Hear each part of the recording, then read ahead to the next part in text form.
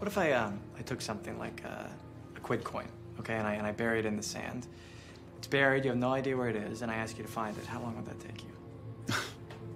years, right? I mean, millions of years if the desert were big enough. Sure. What if I melted the sand? Took all the sand in the desert and melted it.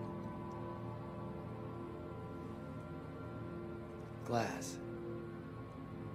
The whole desert becomes one big sheet of glass. So now finding the coin is easy, right? You just you see it floating there. Change the sand to glass and finding the coin is trivial. In what way? Come on, with accelerated key search and decryption, the entire world is at your fingertips. There's literally nothing you couldn't see. Until they encode things differently or develop a different architecture for coming at us. But you still have how many months or years of absolute unguarded access to anything you'd want?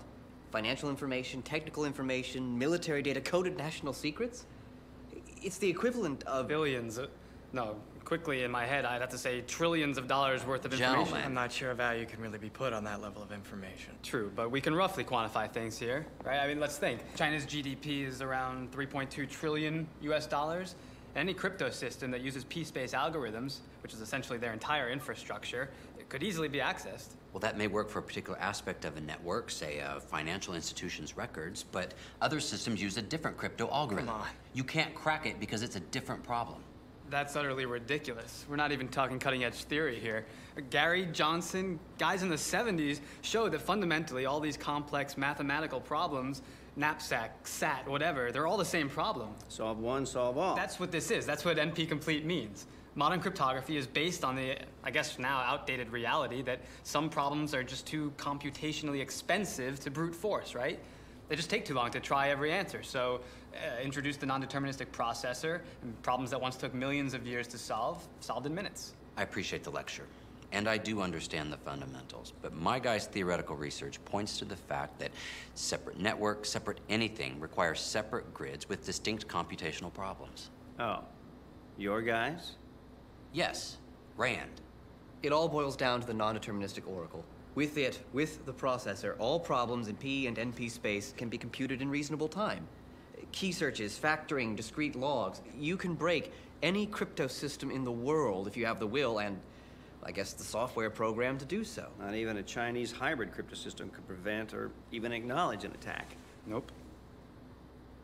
Anyways, in my opinion, this works more as a weapon, I guess, by subtraction or destruction, much in the same way as a conventional weapon, as opposed to, say, some sort of, I don't know, intergovernmental larceny. Meaning? Meaning that it's impractical to embezzle Chinese money to, say, fund a federal education bill, okay? If you, if you want more money, just print more. And at this level, it'll have little effect on their economy. And if you're somehow discovered, you've essentially declared war on a superpower, and all you have to show for it are a few cleaner schools. Well, it could be worse. Really, the only way I see it would be to systematically attack the asset. Basically, cripple it, take it out.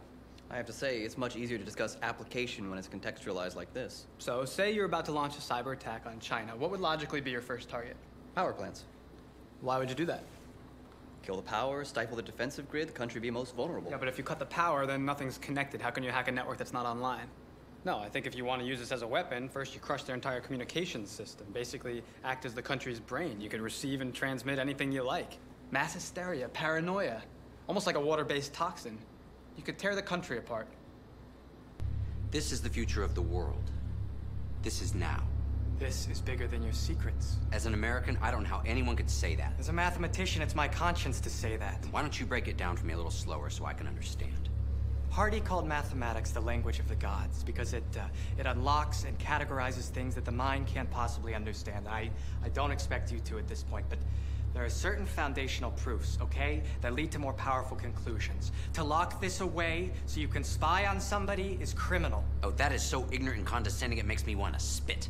This was the most important unsolved problem in computer science. To think you were the only mathematicians in the world focusing your efforts on this is naive. You were pawns, automatons. We funded you. We brought you together. You were denied nothing. Thought was fostered, and ultimately a solution was achieved. You were a piece of the puzzle, a cog. Separately, you're nothing. You were the people we mocked growing up. But collectively, you have altered world history and put the proper power in the proper hands. I want a document drafted stating the proof P equals NP belongs to the four of us. You can have the design for the processor, classify it if you want, but the proof, as originally promised, is ours. Furthermore... I'm not sure where you get off instructing me to the fucking toilet. Furthermore, I want the classified addendum with any reference to our names or applications removed. This is not a negotiation. Well, I suggest you make it one. What is any of that going to do? Hiding it. Now, I, for one, would prefer this technology be licensed to the private sector.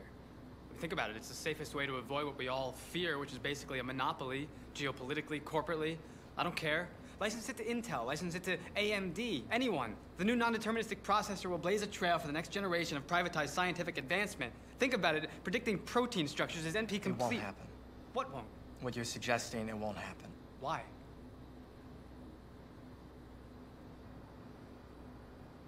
It's something we should have seen a long time ago. It's more valuable to them if it's kept a secret. It's better for all of us.